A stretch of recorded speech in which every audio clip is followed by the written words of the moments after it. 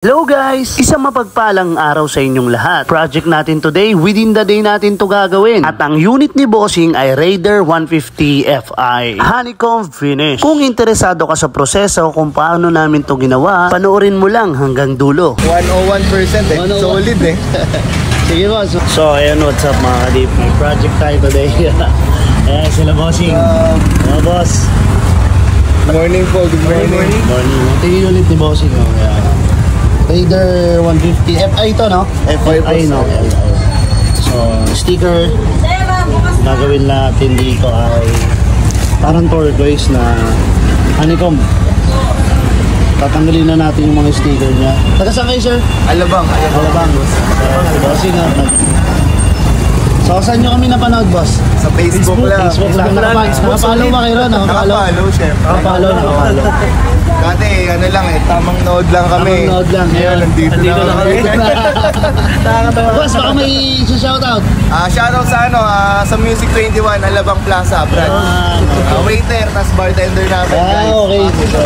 Bossing, maraming salamat. Ako nang bahala sa unit mo. Thank you, thank you. boss. Dahil mabilisan tong project natin, binakbakan agad ni Boss Rodel yung ating panel. At pinagtulungan nila ni Boss MJ bakbakin yung dikit na naiwan galing sa dati niyang sticker. Matapos ng mahabang kutkutan, syempre tayo naman ang babanat ng primer surfacer. After flash off, lilihayin naman nila uli yan. Sabay rekta apply ng ating base color. At ang gamit nating baril, syempre, from Hernan Paint Center na G from Japan. Kung kailangan nyo ng mga quality spray gun, PM nyo lang si Boss Chokes Losa natin. Makakasigurado kang mura at legit ang inyong makakatuwang sa inyong mga pagpipinta. After natin i-apply ang ating base coat, rekta hydro dipping tayo agad. At ang gamit nating design dito mga kadip para lumitaw yung base coat niya ay honeycomb transparent film. Alright? So nailubog na natin at check natin kung lumabas ba yung kulay at yung ating pattern. At all goods naman, lahat naman may print, kaya proceed tayo agad sa ating pag-a-apply ng ating high solid clear na 9700 Nippon Paint High Solid Clear para makakasigurado tayong makintab, makapal at walang kasing dulas na oily looks niya. Makikita nyo naman yan sa dulo ng video na to. At natapos na ngayong project natin at eto na si Bossing oh. Nilabas na natin yung unit niya mula sa ating garahe at makikita nyo yung ngiti ni Bossing. Talagang speechless si Insan natin oh. Tinornado na. Tinornado na insan at eto chine-check up niya na yung kanyang unit para mamaya-maya lang ay hihingi na tayo kay Bossing ng quick interview at ipaparate na rin natin yung kanyang Ah, unit. boss. Ano masasabi mo sa trabaho natin? Solid. Kailangan na, namegos na ni Boss Paul. Next na. Uy, tawag ka tol. So, yeah. Baka may gusto yung shoutout. Ah, shoutout nga pala sa Music 21 pati kay Boss Aris sa joyride na nasakyan ko hindi Yun, no? dahil sa iyo.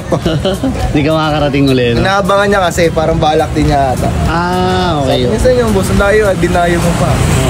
Sabi ko, ah, dati. Taga saan ba si Bossing?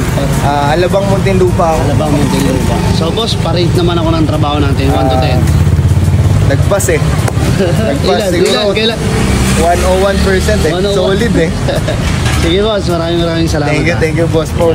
Sa wakas, natapos na yung project natin na Raider 150 Fi from Alabang, Muntinlupa. Maraming maraming salamat bossing sa pagdayo at sa pagtitiwala sa Polworks Hydrographics at sa Team Polworks. Nakuha at naging masaya naman si bossing sa final output natin at natapos din naman natin siya sa time frame na ibinigay natin sa kanya. Muli, sa mga gusto magpagawa, punta na lang po kayo sa shop at sa mga gusto magpasalang ng ating powder coating, walk-in na lang po kayo dahil maaasikaso naman natin yan agad-agad. Hanggang dito na lang yung vlog natin for today. Maraming salamat. To God be the glory.